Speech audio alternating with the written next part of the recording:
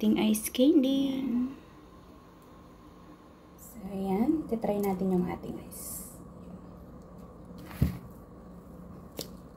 Mmm. Look at that. Soft. Mmm. Sarap.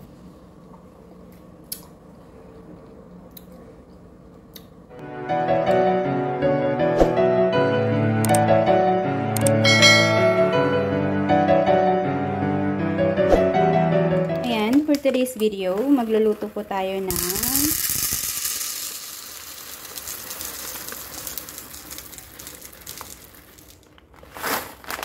Munggo ice candy.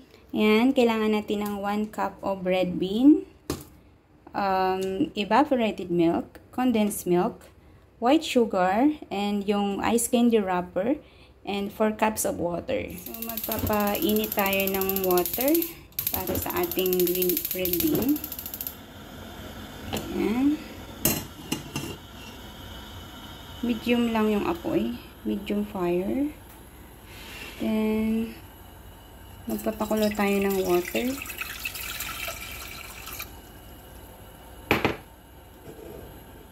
Yung red bean. Ayan. Iluto natin siya. Um, uh, this is about uh, one and a half hour to cook. Okay, kailangan natin siyang iluto hanggang sa mag-tender na siya. Ayan. Medium lang yung apoy. Ayan. Takpan natin para madaling maluto. Check natin.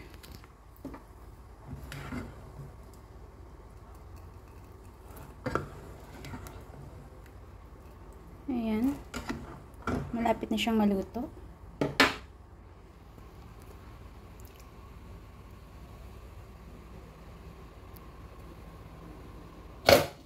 Takpan natin ulit.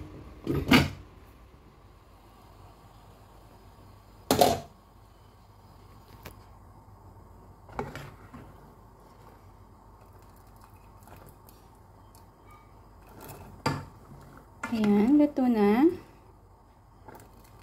I-drain lang natin to and then set aside.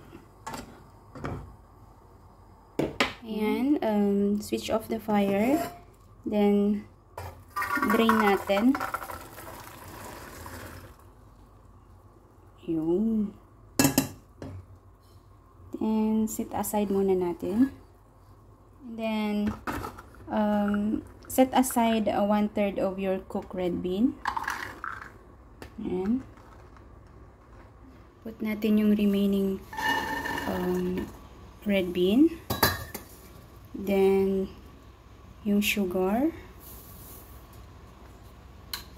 And yung ating condensed. Condensed milk.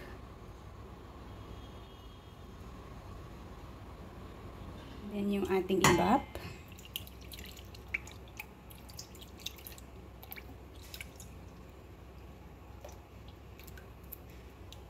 Yan. And yung 2 cups of water. Yan. Ibo-boil natin ito. Stir guys hanggang sa ma-mix yung mixture. Hanggang sa ma-dissolve yung sugar. Nagamit tayo guys ng blender. So, gamit tayo ng blender para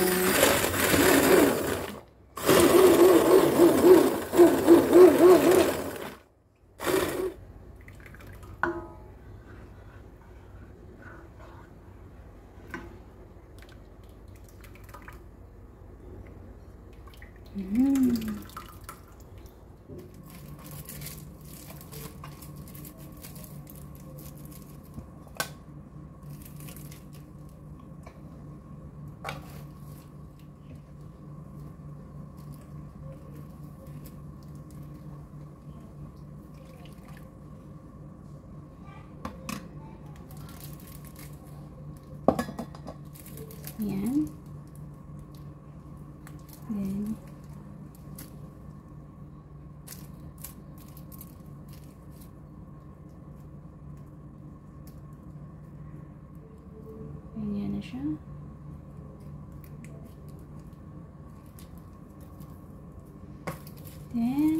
Again.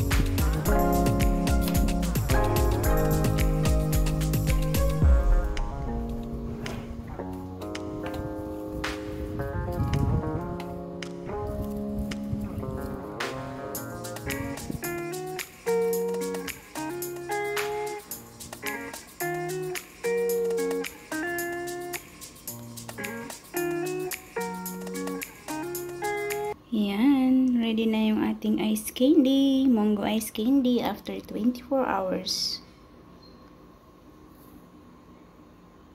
Ayan.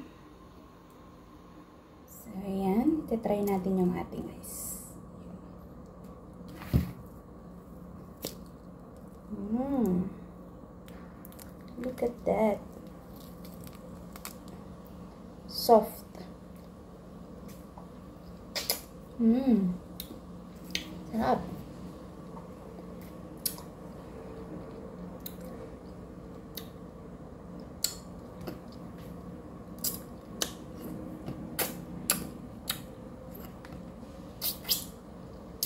Mmm.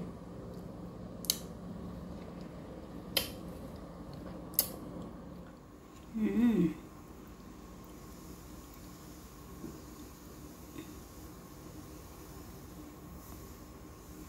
Sarap.